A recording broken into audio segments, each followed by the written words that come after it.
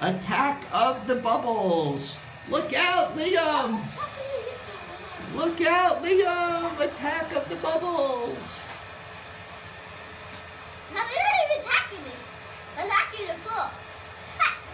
Well, if the wind starts blowing that direction, there's going to be a big bubble attack on you.